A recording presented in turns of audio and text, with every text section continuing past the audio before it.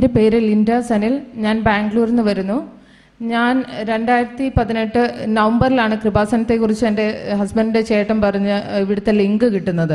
അപ്പോൾ കിട്ടിയപ്പോൾ തന്നെ ഞാൻ ഓർത്ത് ഓക്കെ എന്താണെന്ന് നോക്കാം. നോക്കി ലൈറ്റ് ക്യാൻഡിൽ പ്രെയർ ഓപ്പൺ ചെയ്തു. അത് രജിസ്റ്റർ ചെയ്തു. പിറ്റേ ദിവസം തന്നെ ചെല്ലാൻ തുടങ്ങി.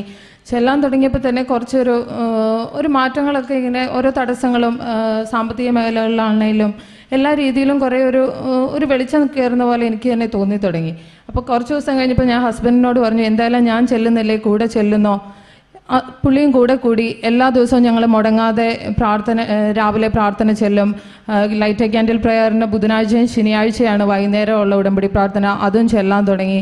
ചെല്ലാൻ തുടങ്ങി എല്ലാ ഇവിടുത്തെ ശുശ്രൂഷകളും യൂട്യൂബിലെല്ലാം കാണാനും അച്ഛന്റെ ടോക്കുകൾ ഒത്തിരി കേൾക്കാനും ഒക്കെ തുടങ്ങി കഴിഞ്ഞപ്പോഴത്തേക്കും എന്നാൽ ഉടമ്പടി എടുക്കാം എത്രയും പെട്ടെന്ന് ഉടമ്പടി എടുക്കാം എന്ന് വിചാരിക്കുന്നു. അപ്പം ഹസ്ബൻഡിന് പത്തിരുപത് വർഷമായിട്ട് ഭയങ്കര അലർജിയുടെ പ്രശ്നമുള്ളതാ. തുമ്മൽ തുമ്മാൻ തുടങ്ങിക്കഴിഞ്ഞാൽ കണ്ടിന്യൂസ് തുമ്മലാണ്. ബിസിനസ്സാണ് ഞങ്ങൾക്ക് അപ്പം ട്രാവലൊക്കെ ചെയ്യുമ്പോൾ പുള്ളിക്ക് തുമ്മിയിട്ട് മെഡിസിൻ കഴിച്ചാൽ ആ ദിവസം ഫുൾ കിടക്കേണ്ട അവസ്ഥയാണ് അപ്പം ഇങ്ങനെ നിയോഗത്തിൽ ഇങ്ങനെയൊക്കെ പറയണം എഴുതണം എന്നൊക്കെ മനസ്സിൽ വിചാരിക്കുന്നു പ്രാർത്ഥനകൾ നടക്കുന്നു. ഫെബ്രുവരിയിൽ ഞങ്ങൾ ഉടമ്പടി എടുക്കാൻ വരുന്നു. അപ്പോൾ കുറേ കാര്യങ്ങൾ ഇങ്ങനെ എന്തൊക്കെ വിട്ട് ഓരോ കാര്യങ്ങൾ ഇങ്ങനെ ഓർത്ത് ഓരോ ദിവസം ഇങ്ങനെ ഓർക്കും. ഇതെല്ലാം ഉടമ്പടിയിൽ പറയണം എഴുതണം ഇതൊക്കെ പ്രാർത്ഥിക്കണം. പിന്നെ മെയിനായിട്ട് എന്നും ഒരു പ്രാർത്ഥനയിൽ ഒരു സ്ഥിരത ഉണ്ടാകുക എന്നുള്ളതായിരുന്നു ഏറ്റവും വലിയ അത്യാവശ്യം. പ്രാർത്ഥിക്കും കൊന്ത ചെല്ലും പള്ളിയിൽ പോവും എല്ലാം ഉണ്ട്. പക്ഷെ എന്നാലും ചില സമയങ്ങളിൽ കൂടുതലും ചില സമയത്ത് അന്ന് അതേപോലെ ചെല്ലാൻ പറ്റുന്നില്ല. ഇങ്ങനെ ഒത്തിരി ചില ഉഴപ്പൊക്കെ വരും. അപ്പോൾ അന്ന് ആ പ്രാർത്ഥനയിൽ ഒരു സ്ഥിരതയാകും. അങ്ങനെയെല്ലാം വിചാരിച്ച് ഉടമ്പടി എടുക്കാൻ വന്നു. അപ്പോൾ ഒരു നിയോഗം പരിസ്ഥാന്മാവിനാൽ എന്നെയും എന്റെ കുടുംബത്തിനെയും നിറയ്ക്കണേ എന്നുള്ളതായിരുന്നു. അന്ന് തൊട്ട് മുടങ്ങാതെ തന്നെ ഒരു വീഴ്ചയും വരുത്താതെ ഞങ്ങൾ കുടുംബം മൊത്തവും ഞാനാണ് ഉടമ്പടി എടുത്തതെങ്കിലും ഹസ്ബൻഡ് ഇപ്പോൾ ട്രാവലിംഗ് ആണെങ്കിലും എവിടെയാണെങ്കിലും പോകുമ്പോൾ ആ ചെല്ലുന്ന ഇവിടെ എവിടെ ഇരുന്നും ആ ഉടമ്പടി പ്രാർത്ഥനകളും എല്ലാം ചെല്ലാനും എല്ലാം സാധിച്ചു. മുടങ്ങാതെ പള്ളിയിൽ പോകും അതുവരെയും ചെറിയ മക്കളാണ്. അപ്പോൾ പള്ളിയിൽ പോകുമ്പോൾ ചിലപ്പോൾ ലേറ്റായി പോകും അങ്ങനെയൊക്കെ.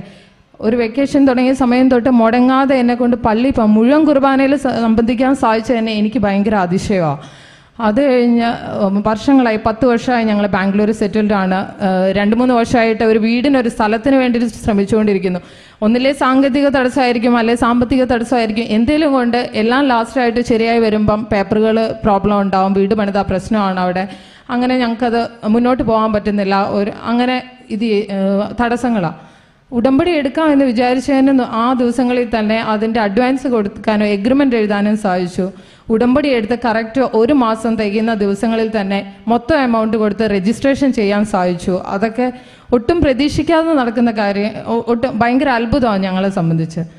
പിന്നെ എന്റെ ആങ്ങളയ്ക്ക് വേണ്ടിയിട്ട് ഇതായിരുന്നു രണ്ടാമത്തെ കാര്യം എന്റെ നിയോഗം ഇതായിരുന്നു ഞങ്ങളുടെ വീട് പണിക്കുള്ള സ്ഥലം. അത് മാതാവ് നടത്തി തന്നു. മൂന്നാമത് എന്റെ ആങ്ങള ബാംഗ്ലൂർ തന്നെയാണ് അവനും അവിടെയാണ്. പക്ഷേ ജോലിയിൽ ഒരു മാറ്റമോ അവനൊരു പ്രമോഷനോ അവൻ ശ്രമിക്കുന്നുണ്ടോ ഒന്നില്ലേ അവൻ ഉദ്ദേശിക്കുന്ന ഒരു ജോലിയിലോട്ട് അവൻ എത്താൻ പറ്റുന്നില്ല ഒരു പോസ്റ്റ് കിട്ടുന്നില്ല. അപ്പം ആകെ ഒരു വിഷമത്തിൽ അവൻ ഒത്തിരി പ്രാർത്ഥിക്കുന്നുണ്ട് പക്ഷേ എന്തോ ഒത്തിരി തടസ്സങ്ങൾ ഉടമ്പടി എടുത്ത് രണ്ടാം മാസം തീരാറാവുന്ന ദിവസങ്ങളിൽ തന്നെ ഞാനപ്പോൾ ഇങ്ങനെ യൂട്യൂബിൽ അച്ഛന്റെ പ്രാർത്ഥന പറയുമ്പോൾ കേൾക്കുമ്പോൾ പ്രാർത്ഥിക്കും ദൈവം ഇന്നേലും എന്തെങ്കിലും ഒരു ഒരു പോസിറ്റീവ് ഒരു സൈൻ അവൻ ഒരു ഇന്റർവ്യൂവിന് വിളിക്കുമോ അല്ലെങ്കിൽ ഒരു ഓഫറിൽ എന്തെങ്കിലും ഒരു ആവണേ ഞാനിവിടെ ഒന്ന് സാക്ഷ്യപ്പെടുത്തിക്കോളാം എന്നുള്ള രീതിയിൽ പ്രാർത്ഥിക്കുമായിരുന്നു അവന് നല്ലൊരു കമ്പനിയിൽ കുറേയും കൂടി സീനിയർ പോസ്റ്റിലോട്ട് ഒരു ജോലിയും ശരിയായി. അവൻ ജൂണിൽ ജോയിൻ ചെയ്യുവാണ് ആ കമ്പനിയിലോട്ട് ഇത്രയും തന്ന മാതാവിന് ഒരായിരം അനുഗ്രഹങ്ങളും തന്നുകൊണ്ടിരിക്കുന്നവരായിരുന്നു